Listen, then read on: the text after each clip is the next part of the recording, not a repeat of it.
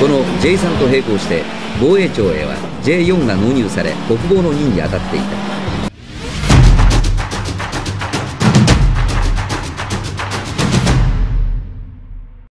สวัสดีครับพี่ สวัสดีครับ ครับ วันนี้เราอยู่กัน 56 นัดพบนะครับ อยู่กับรถที่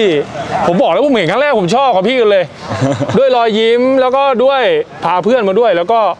คือมันอบอุ่นมันตรงกับสไตล์ของ 56 นัดพบเราเลย วันนี้ขออนุญาตให้พี่แนะนำตัวนิดหนึ่งครักับบผม JK กาลัดสวัสดีครับพี่ผมโจครับพี่นะครับ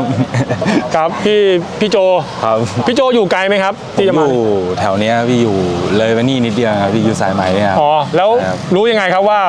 มันมี 56 นัดพบวันนี้ เห็นในเพจอะไรพี่วิ ไอ้วิจัยฝุ่นเนี่ยพี่ อ๋อวิจัยฝุ่นใช่ของครับพี่แบงค์อ่าใช่ครับนี่ฝากติดตามด้วยวิจัยฝุ่น คนไหนที่อยู่เพจวิจัยฝุ่นขอติดฝากติดตามพี่แบงค์กันต่อเนื่องด้วยนะครับใช่ครับก็ของเราก็จะมีทุกเสาร์ที่2นะครับของของทุกเดือนเลย คนไหนที่มีรถรุ่นไหนก็แล้วแต่มาแลกเปลี่ยนความรู้กัน อยากให้พี่โจแนะนำหน่อยคันนี้ผมชอบเฟี้ยวสุดยอดจริงเป็นๆไอ้ Jeep คันนี้เป็นรุ่นอะไรพี่ เป็นจีบิซูครับหน้าจิ๊บมิซูใช่ครับเป็น ตระกูลเจผมจำไม่ได้ครับพี่ใช่ครับ เอาพอสังเกตก็คือเราใช่ครับ เราได้มันมายังไงพี่เราได้มันมาไงก่อนได้มาจากรุ่นพี่คนนึงครับเขาเขาขายอยู่พอดีผมก็เลยไปเอามาเลยคือพี่โจชอบชอบรุ่นนี้อยู่แล้ว ใช่ครับก็หาคือพูดง่ายๆคือไปจีบเขาแหละ ใช่ครับไปจีบเขาอยากได้ อยากได้ครับเฮ้ยแต่ผมได้ชอบมากแล้วสวยมากใช่ครับ โหแล้วสภาพเดิม คือสภาพมันเดิมๆสวยๆอย่างเงี้ยใช่ครับ พี่โจมีทำอะไรไปบ้างไหมครับ คันนี้ไม่ไม่มีทำเลยเครื่องเดิมหมดเลยครับ เคยขับไกลไปไหนไกลที่สุดคันนี้ โอ้โหไกลที่สุดเหรอพี่อ่าหรือแบบ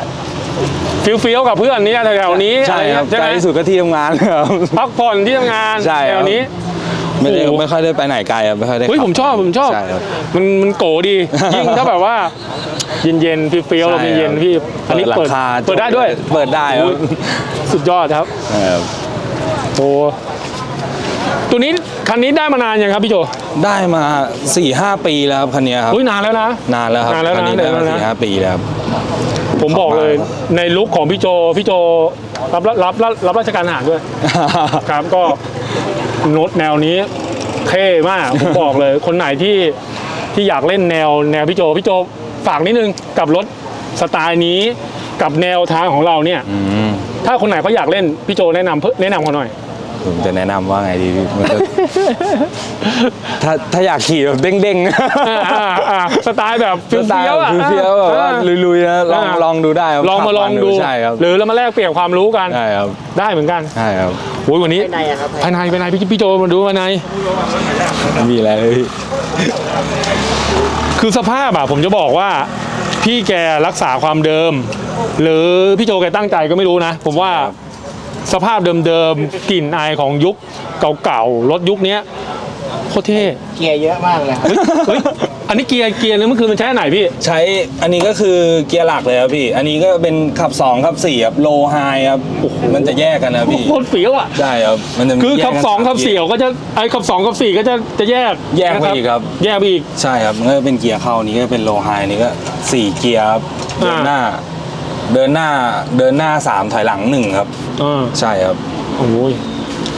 วิทยุเดิมแน่นอน ใช่ครับเดิม หน้าปัดนาฬิกามาวัดความร้อนอะไรอย่างอื่นเนี่ยเดิเดิมมๆทั้งทั้งหมด ใช่ครับ เดี๋ยวที่ผมสะกิดใจนิดหนึ่งพี่ขออนุญาตนะ มันมีแอร์เหรอพี่ใช่มันมีแอร์พี่เปิดเปิดติดอยู่พี่ อ่า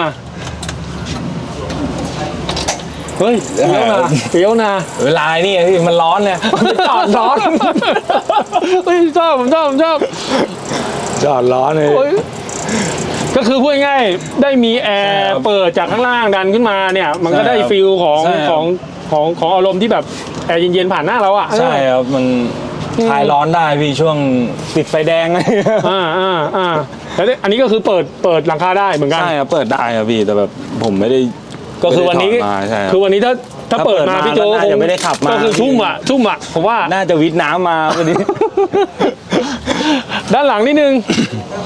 ก็ค่อนข้างครบนะครับ เขาให้มาครบก็คือในในส่วนของยางอะไหล่ในส่วนของพั่วตัวนี้ต้องมีนะ ผมบอกเลยรุ่นนี้ต้องมี คือถ้าไม่มีก็ต้องหามาเพราะอะไรเพราะมันเป็นสไตล์ของของของจี๊ปของมิซูใช่คแล้วตัวนี้เป็นถังน้ำมันนะพี่ถังน้ำมันไม่ได้ใส่มาตำแหน่งวางถังน้ำมันอันนี้ใช่ครับกล่องเครื่องมือใช่ไหมพี่ใช่ครับกล่องติดแบบเอามาติดเสริมเฉยๆครับพี่เฮ้ยแต่แต่มันเข้ากับยุคนั้นนะพี่โจใช่ครับมันก็เลคือยยุคนั้นอะหาสมัยนั้นอะ ผมบอกเลย กล่องเครื่องมือจะเป็นอย่างนี้นะท่านผู้ชมใช่ครับหาเสริมมาใส่เล่นอะไรอย่างเงี้ยครับอ๋ออย่างนี้คือพี่ก็ใช่ครับพยายามใช่ครับพยายามทำให้แบบมาหาแบบอะไรแปลกๆแบบว่าเกี่ยวกับช่วงยุคนั้นมามาเพิ่มเติมอะไรคือประมาณดูนี้แล้วอะมันไปกับรถเราใช่มันคสรับไตล์เนี่ยมันมันใช่อะใช่ครับไหมพี่เฮ้ยฟีลพี่ชอบชอบชอบชอบมาครั้งแรกผมโคตรชอบเลยผมบอกเลยนะคนไหนที่เล่นเนี่ยบางทีผมผมเข้าไปเดินคู่ไปคุยกับพี่โจนะโอ้ยพี่แม่งเฟี้ยวอะสุดยอดอะชอบชอบจริงเออๆ นะครับ วันนี้ขอบคุณพี่โจมาก ขอบคุณมากครับครับ เดี๋ยวยังไง เดี๋ยวไปดูคันอื่น วันนี้มาเยอะแล้วก็เราก็ยังอยู่กับพวกเรานี่แหละ ก็คือมาแลกเปลี่ยนความรู้กันบางคนจะทำรถทำสีทำภายในวายสาย อันไหนที่ดีเราจะพยายามแนะนำกันบอกต่อกัน อันไหนที่ไม่ดีเส้นทางที่ไม่ดีเส้นทางที่มันเลวร้ายสำหรับบางคน เราจะไม่ไปเดินซ้ำเพราะหนึ่งคือเราเชื่อว่าข้อมูลดีๆเนี่ยจากคนที่เล่นรถเหมือนกันเนี่ยส่งต่อกันเนี่ย อย่างน้อยเปอร์เซ็นต์ในการโดนหลอกก็น้อยครับท่านผู้ชม เดี๋ยวเราไปดูคันอื่นว่า JK กาลาดจะพาเราไปดูคันไหนต่อไป เดี๋ยวไปดูกันครับ